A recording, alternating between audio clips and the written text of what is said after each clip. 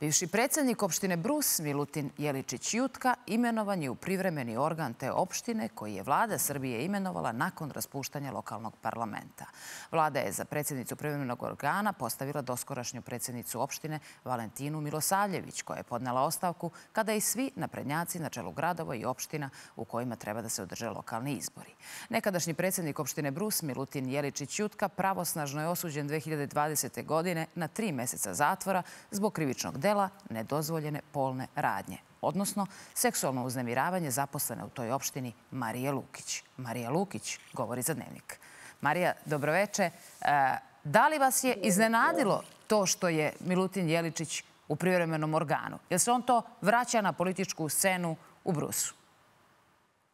Nije me nimalo iznenadilo. Naprotiv, on je e, gotovo sve vreme na političkoj sceni kao odbornik u trenutnoj skupštini, to jest u ovom sazivu Skupštine opštine Brus. E, to da će biti u privremenom organu, ovaj, sam čula pre pa gotovo desetak dana, tako da sam pretpostavila i da će, da će se to desiti, nisam mislila da je zaista trač.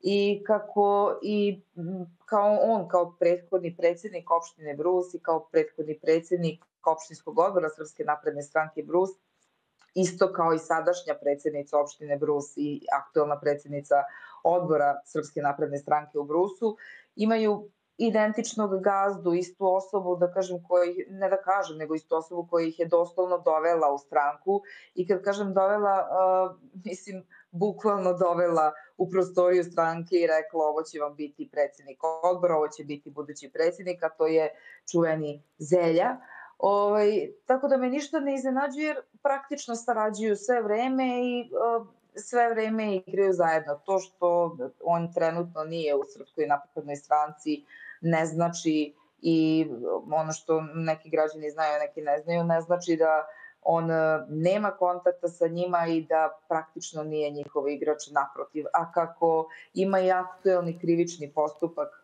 a u vezi Panči, objekta na Pančićevom vrhu, on im dođe baš kao dobar igrač ko može da deluje benignije u odnosu na sadašnju predsednicu u smislu, bez obzira na sve malverzacije trenutno u opštini Brus, u, u celoj Srbiji, bez obzira na trenutnu, na, na ovakvu ekonomsku situaciju, na to da recimo opština Brus ima uh, ugovor sa tehnogradnjom na milijardu i 750 miliona, a da nema, nema ovaj, dostavljenog cenovnika Skupštine opštine Brus, da prosto sadašnja predsjednica deluje benigni u odnosu na Jeličića, jer eto on, ona vam neće spopadati čerke, ona vam neće spopadati žene, pa ovaj, dajte da se malo bavimo Jeličićem, a u suštini su zapravo u istom timu trenutno je, možda on, vi, vi ste sad pomenuli, on nije član Srpske napredne stranke, ali je postavljen odlukom vlade na predlog sa, lo, sa lokala. Šta vam to govori o odnosu vlade prema osuđenom za nedozvoljene polne radnje?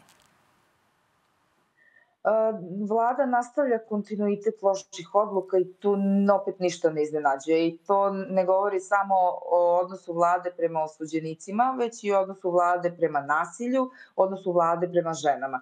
I to je ono što je prst u oko svakoj ženi u Srbiji i, i prosto svakom normalnom čoveku u ovoj zemlji. Um, ono što um, je strašno, sasvim je legitimno da osuđenici kad odsluže kaznu ulaze u neki proces inkluzije i nisu izopšteni iz društva, ali nije normalno da se vrate i da budu na rukovodećim pozicijama, da budu u rukovodećoj poziciji jedne opštine.